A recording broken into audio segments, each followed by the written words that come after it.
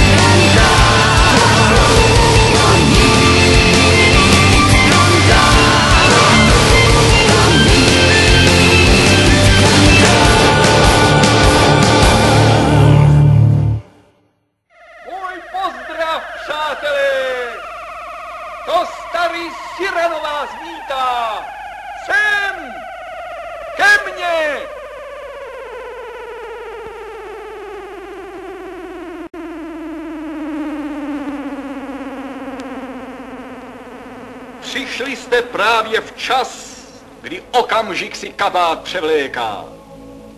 Patřila luna dosud jenom nám, básníkům, snílkům, smělým fantastům i dobrodruhům v bílých parukách.